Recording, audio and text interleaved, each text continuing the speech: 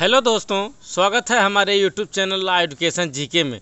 दोस्तों, मैंने कल अपने वीडियो में बताया था आप लोगों को, अगर कोई व्यक्ति नाबालिग लड़की, लड़के को देह व्यापार के लिए बेचता है तो उसके खिलाफ आईपीसी की धारा तीन सौ बहत्तर के तहत मुकदमा दर्ज होता है।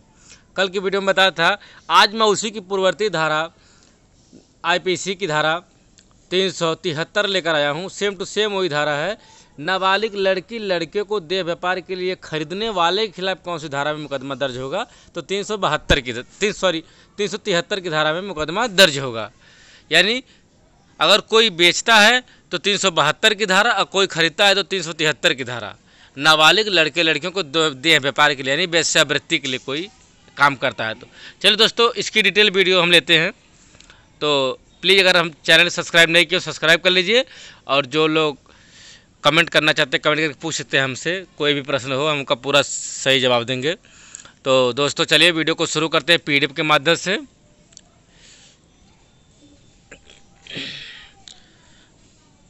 दोस्तों, प्रस्तुत धारा जो है, मैं बता ही चुका हूँ कि तीन सौ तिहत्तर पूर्ववर्ती धारा तीन सौ बहत्तर का ही संयुक्त रूप है। धारा दो सौ बहत्तर में हमने आपको बताया था कि अगर कोई व्यक्ति किसी नाबालिग बच्चों को देह व्यापार के लिए बेचता है तो वह उपयुक्त धारा का दोषी होगा, यानी जो धारा है वो दोषी होगा। परंतु आज की धारा में नाबालिग बच्चों को खरीदने वाले को दोषी बताया गया है। चलिए इसकी परिभाषा देख लेते हैं। भारत जन संहिता साठ की धारा तीन सौ तिहत्तर की परिभाषा क्या है? वैश्यावृत्त आदि के लिए बच्चों को खरीदना मेन है। अगर कोई व्यक्ति किसी 18 साल से कम उम्र के बच्चों को वैश्यावृत्ति दें, व्यापार गैर कानूनी संभोग या किसी कानून के विरुद्ध या डांस बार में नाचान, नाचने, नचाने दुराचारिक काम में लाए जाने या उपयोग किए जाने के लिए उसको खरीदता है या भाड़े पर लेता है तो ऐसा करने वाला व्यक्ति तीन सौ तिहत्तर के अंतर्गत दोषी होगा। यानी जो तीन सौ बहत्तर में धारा थी परिभाषा थे सेम धारा सेम परिभाषा आज की वीडियो में, तीन सौ तिहत्तर में, बस में फ़र्क क्या है, उसमें बेचना था और इसमें ख़रीदना है। क्लियर हुआ? उस वीडियो को देख लें तो वीडियो को तुरंत समझ में आ जाएगी। उसकी मैं लिंक डिस्क्रिप्शन बॉक्स में दे दूँगा। आइए बात करते हैं भारत दंड संहिता अठारह सौ साठ की धारा तीन सौ तिहत्तर में। दंड का क्या प्रावधान है? सेम कंडीशन वही है जो तीन सौ बहत्तर की धारा में थी।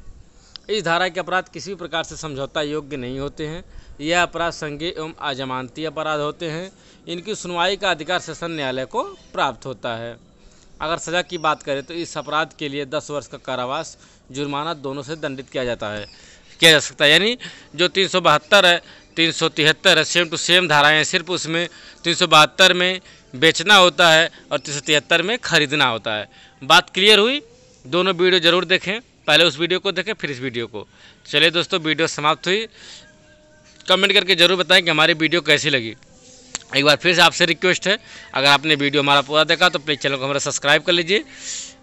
आपको बहुत बहुत धन्यवाद वीडियो पूरा देखने के लिए। तो चलते दोस्तों, मिलते हैं अगली वीडियो में, तब तक के लिए अपना और अपने परिवार का ख्याल रखें।